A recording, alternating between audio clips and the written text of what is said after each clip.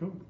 Here's Rosalind, and she's going to tell you a little bit about her experience with Taylor Chrysler and Big John. Oh, Lord Jesus. Oh, I had a good time here.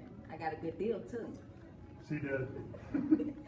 Go No, ahead. I wasn't saying that. She got me right down, all the way down to the plum nickel. but that's okay, right? Right. Yeah, when mama's happy, everybody's happy. Don't forget that. And here's your first set of keys. Thank you. All right. Congratulations.